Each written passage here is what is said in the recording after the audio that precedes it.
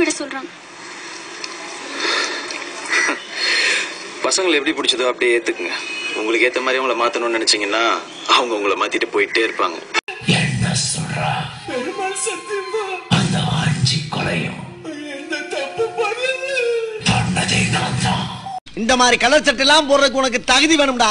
கருவாப்பையில. நீ பொழப்புக்கு ரவுடி. நான் பிறந்ததுலேருந்தே ரவுடி.